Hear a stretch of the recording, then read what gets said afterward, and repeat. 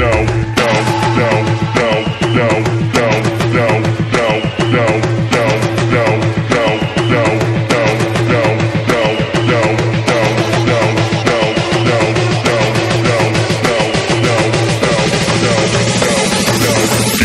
get, get, get low when the whistle goes.